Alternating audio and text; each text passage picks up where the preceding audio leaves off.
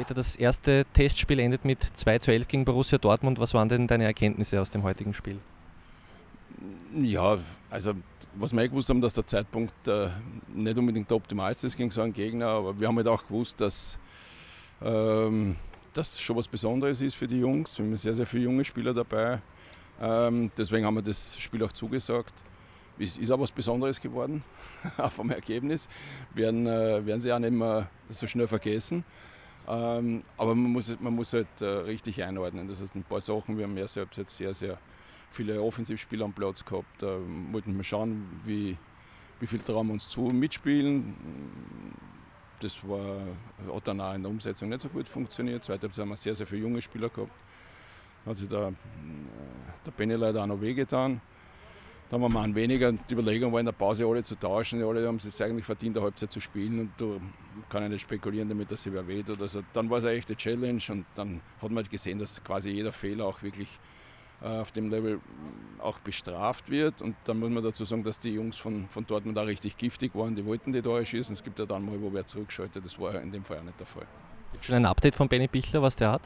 Na, er hat wieder einen, äh, einen Schlag gekriegt auf seinen äh, Mittelfuß, wo er die Verletzung gehabt hat. Wir hoffen, dass jetzt einmal nicht so schlimm ist und, äh, und, und dass das äh, wenigstens jetzt nicht so dramatisch ist, äh, wie er möglicherweise momentan irgendwie spürt. Ja. Ich erinnere mich, äh, in der Vergangenheit hast du eigentlich immer recht wenig Rücksicht in der Trainingssteuerung, in den, in den Vorbereitungspartien auf die Partien an sich äh, genommen. Ist dieser Umstand gleich geblieben? Hast du in der ersten Trainingswoche Rücksicht auf diese Partie genommen?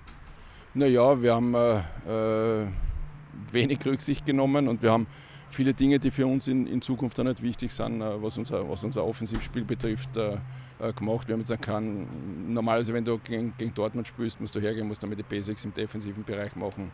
Ähm, hat man auch gesehen, dass ein paar Sachen dann auch nicht so, so, so stimmig sind. Aber ja, wir haben, wir haben eigentlich keine Rücksicht genommen. Wir haben versucht, äh, ein bisschen was zu machen in unserem Spiel, äh, dass sie die ersten Ideen haben, wie wir dann in den nächsten Wochen und Monaten das entwickeln wollen. Und da sind sie gut unterwegs, das muss man sagen. Und, äh, es ist halt, ist halt jetzt vom, vom Ergebnis her wahnsinnig hoch, aber wenn das jetzt dann, dann 7-2 gewesen war, war es auch hoch. Also in dem Fall haben wir dann schon gesehen, dann haben wir so ganz einfache Fehler gemacht, wo die ja nur mehr drauf gewartet haben und, und dann Überzahl sogar gekontert haben. Das passiert ja normalerweise nicht, aber das ist, ist die, die Jugend, äh, die sie antreibt und das ist auch gut. Das wird uns auch, äh, die Jugend wird uns auch begleiten in dem Jahr. Es waren auch einige Spieler mit am Platz, die haben vielleicht sogar die letzte Saison noch bei der U18 begonnen. Was war denn so dein Eindruck von den Jungs heute, die da zum Einsatz gekommen sind, von den ganz jungen Jungs? Naja, wir haben wir haben in einer Mannschaft äh, wirklich jetzt einen 10 oder 11 Spieler gehabt, die zweite Liga begonnen haben voriges Jahr. Ne? Das, man darf es halt nicht vergessen. Nicht? Und ein paar, die in der U18er gespielt haben, einige wenige Spieler bei den Young Violets, weil wir halt glauben, dass sie Perspektive haben. Und äh, das habe ich, hab ich schon gesehen. Es braucht halt dann auch Zeit und es braucht vor allem Geduld. Äh, und ähm, Zeit ist das eine, das hast manchmal nicht.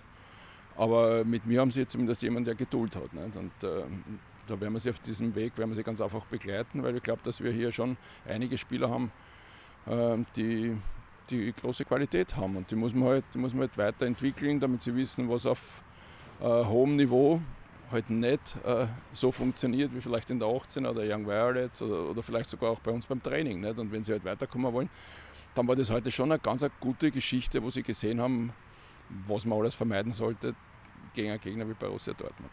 Dankeschön. Danke.